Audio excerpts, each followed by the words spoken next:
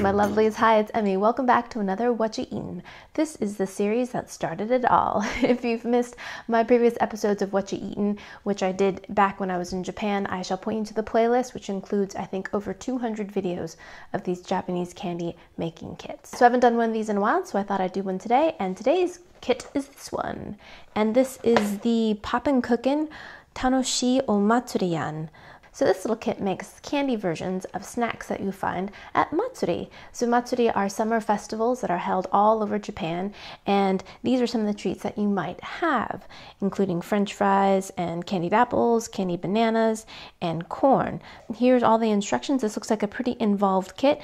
The one I'm really excited about making is the corn one. It looks like you have little kind of candy dragees that you roll the corn pieces into to make little kernels. Super cute. So many of you know that I've been keeping bees and about three days ago I went to go refill the syrup bottle in my beehive and it was pretty late in the evening and I shook the syrup bottle and one of the bees clocked me right under my eye right here. So if you follow me on Instagram at all you saw in my story that my eye started to swell and it didn't close completely but I did look very Quasimodo like. But now three days later I'm almost back to normal. I'm slightly poofy on the side a bit but uh, generally speaking I am back to normal and I'm grateful for that. All right, let's go ahead and start making our little matsuri kit.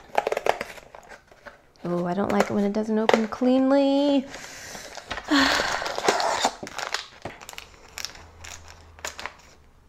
Popping cooking, popping cooking. When you go to Matsuri, there's all these little lovely booths that sell kakigori, which is the shaved ice, or yakisoba, which is the stir-fried noodles, or takoyaki, all kinds of stands that have great kind of essentially fair food. So this is what this is going to be, and this is where we're going to place our finished items when we're done. So this looks like it's going to be the cone for our french fries, or potato.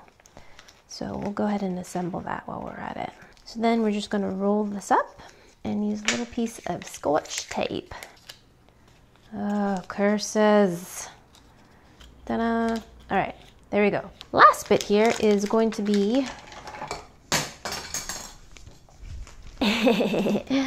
So this is where we're going to cut our potatoes and this is where we're going to measure our banana candy later. Banana packet, potato packet, chocolate sauce, looks like the corn pellets, candy apple mix, sprinkles, toothpicks, some kind of taffy, a little spatula, and our tray. First thing we're gonna do is cut our tray.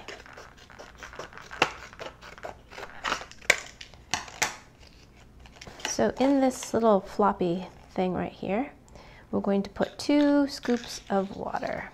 One, two. Now we're going to add our candy apple mix. It's already starting to thicken up. Now we're going to pour that into our tray. And now we're just going to set that aside and let that gel up for a little bit. All right, so now we're going to make the potato mix. And in this tray, one scoop of water and our potato mixture. Doesn't smell like potato. It smells sweet.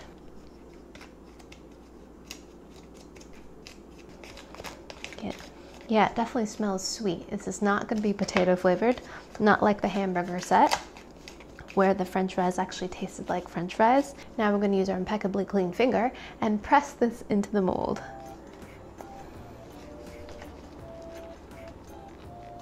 Okay, so when we have a nice little flat even patty, come on, come on, there it goes, sort of. All right,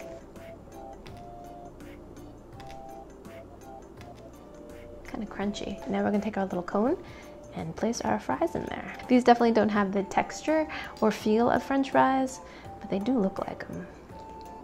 All right, very cute. Now we're gonna grab our little stand and we'll put the potato right there. So our apples are setting, our fries are done. Now we're going to make our corn. And we're gonna open this little bit of taffy. Ooh, it's very, very soft. Nice and pliable. Ooh, it smells great. It smells like lemon. Ah, I love citrus flavors. Okay, so warm that up a little bit in our palms.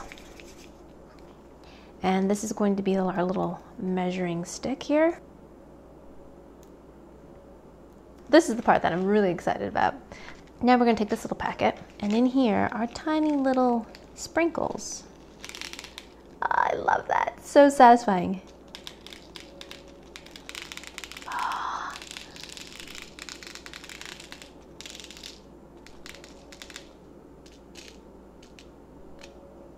All right.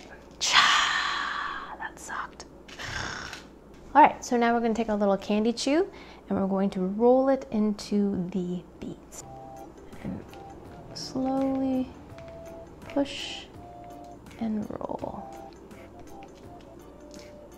Push and roll. It's working! Oh my gosh. Oh, spoke too soon.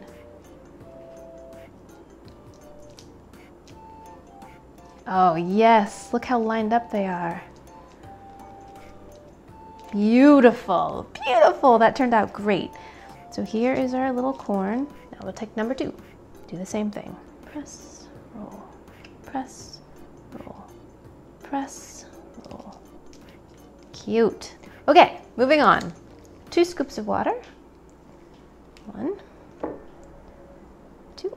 And now we'll add our banana packet. Mix that well.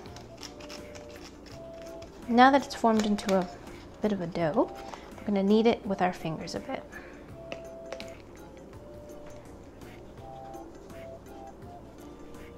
Cut that into thirds and fill the mold.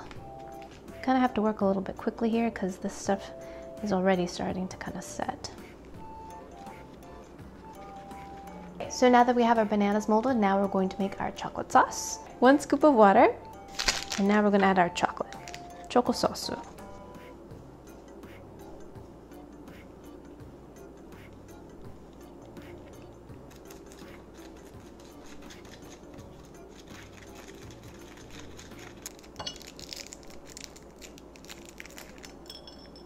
Push them from the bottom. And we've got little bananas. How stinking cute. They even have a little line. So now we're going to take our bananas and skewer them. Pour those out. Add some chocolate to our banana. Okay.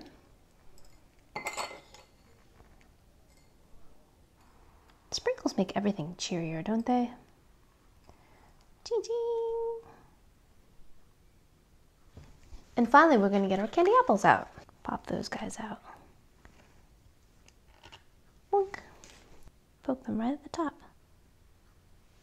And their second one. And there are our Omatsuri treats.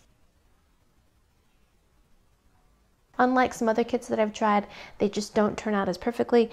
The Popin' Cookin' ones are quality and they always do seem to turn out. So, love that about these kits. Let's try the french fry potatoes. They look very realistic but they don't feel that realistic, nor do they smell it. But let's give that a go. Itadakimasu. Mm-hmm. They actually taste pretty good. They've got a strange kind of gritty quality to them and a little bit gummy and wet, but the flavor of them is great. Kind of like fruit punchy and fruity, a bit like those Japanese gums that you get at like the Hello Kitty store. It's almost like a Hi-Chew or something. It's delicious. That's surprising. The texture is odd but the flavor is quite good. Mm-hmm. Now, the corn I'm super excited about because I smelled them and they smelled like lemon. And in terms of the experience of this whole kit, the corn was my favorite. Absolutely. This was the little gem of this whole kit right here. The rolling in the little sprinkles, awesome. All right, let's give that a go.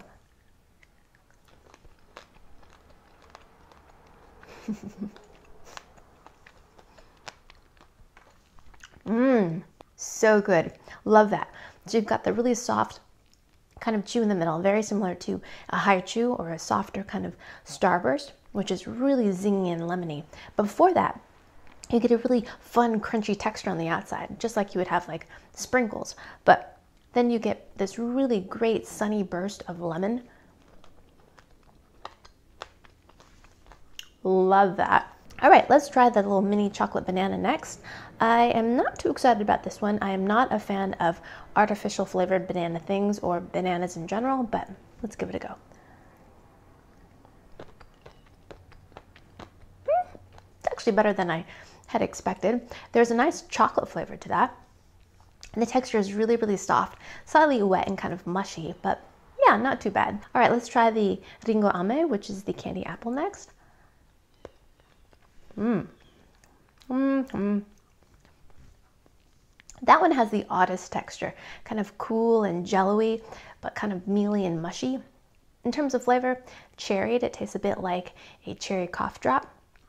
That one is my least favorite, both in texture and in flavor. The winner for me is definitely the corn. So that was another Popin' Cookin' Kit. That was Tanoshi Omatsuriyan. Loved it. Everything turned out beautifully, and it's totally appropriate for this time of year, celebrating summer. Be sure to check out my other channel if you want to see my adventures in beekeeping. I'm way behind on the vlogs, but I'm working on them. All right, thank you guys so much for joining me. Hope you guys enjoyed that one. I hope you guys learned something. Follow me on social media, share this video with your friends, and I shall see you in my next video.